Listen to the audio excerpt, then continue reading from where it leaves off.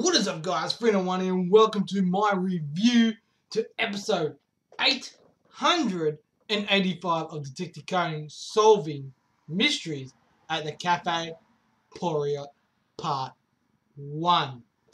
Let's do this.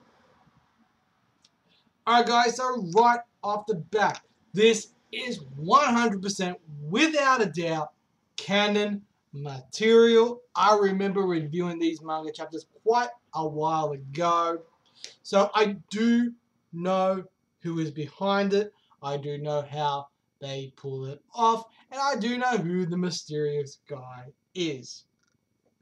So, I'll tell you right here and right now, there were some clues in this week's episode. Okay? That point out who is behind. It doesn't definitively prove it's still one of the three friends. I will give you that much. But there's nothing really definitive yet, but there are clues there.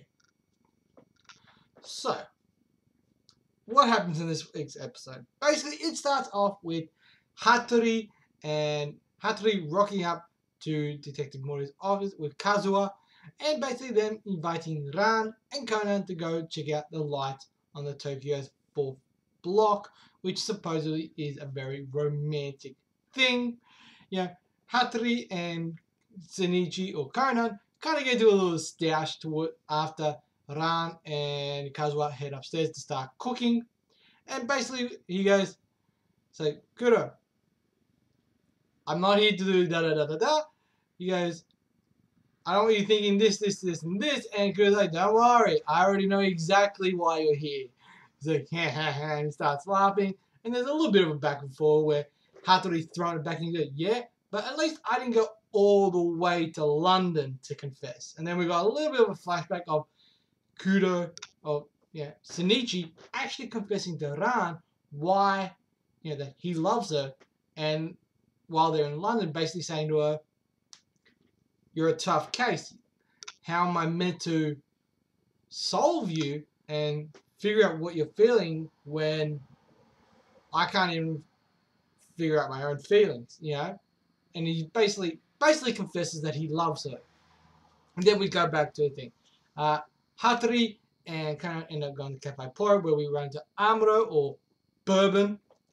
Uh, and then basically we have our three suspects and our victim arrive with, you know, they start setting up and we have a mysterious character. We don't know his name, but he calls himself Wada Shinichi. And there is a little bit of a clue right at the end uh, to, about who he's somewhat impersonating. Okay? There's a couple of little clues he gives there. One, he says he's... The, the two clues are the picture of Sherlock, the kind of outcast of Sherlock Holmes and Dr. Watson. And the other one is that he's interested in medicine and he doesn't understand why no one's covered in blood.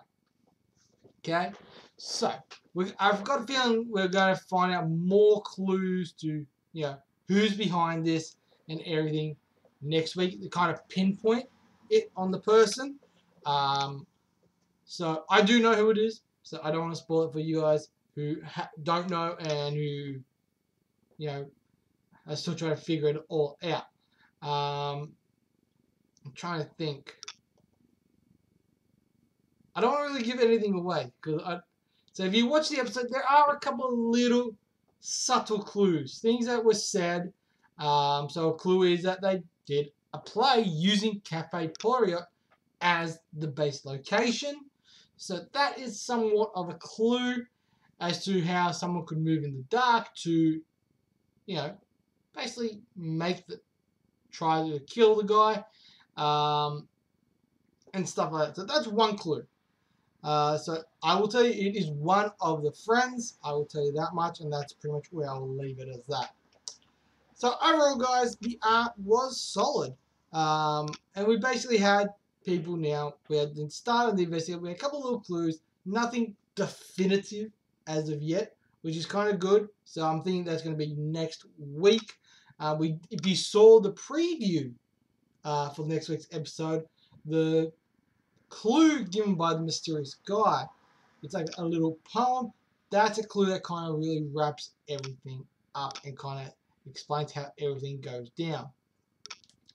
So overall, the art and the animation weren't too bad. There was maybe a little bit of kind of jumpy kind of things that I noticed, uh, but not a lot. It was a little bit jumpy, so maybe not as smooth as I would expect for an episode along these lines.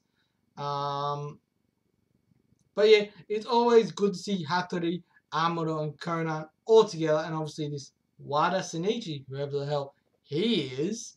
And I do know exactly who he is and who he's impersonating.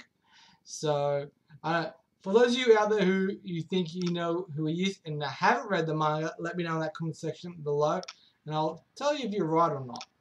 And I'll be interested to see who people think he's impersonating, because the person that he's impersonating, it's not actually who he is, and you do find out who he is later on. Uh, I think you'll more than likely find it out next week. Next week, if they solve the case next week. Anyway, overall, for this episode, guys, I'm gonna give it. I'm gonna give it three stars. Like it wasn't great, but you know, for me, it's the, the kind of the down thing is I already know who's behind it and how they do it. So that's the that's the kind of hard part, and I, don't want to give too much away. So that's kind of why my score's a little bit low, but I don't think it was honestly really thinking about it now. I think it was much better than maybe three stars. Honestly, a bit better than average, but not by much. Um, you only get that extra half a point basically because of Hattori and Amuro uh, or Bourbon are uh, there, and they're two of my more personal, personally two of my more favorite characters. Uh, so yeah, uh, so overall, guys, three stars. Not a bad episode. Looking forward to next week uh, and getting a couple of little revelations as to who this mysterious guy is and figuring out how everything's gone down. So, that is it for me, guys. As always, if you think you know who's behind it, let me know in that comment section below and how do you think this person has done it. I'm really curious about what you people come will come up with. Those of you who have read the manga, you pretty much know how he pulled it, how he or she pulled it off kind of let that little that little bit slip. Oopsie doopsie. So, yeah, that is all, all for me, guys. As always, let me know in that comment section what you guys thought. How do you think this all went down? How do you think the culprit pulled this all off? And yeah, that is it from. That is pretty much everything for me, guys. As always, like, comment, subscribe, share, all that wonderful stuff. You know what you guys need to do. And as always, guys, I'm Frino One. You guys are awesome. I'll catch you guys with another live reaction. Actually, no, it's another review. Peace. Run away! Run away! Run away!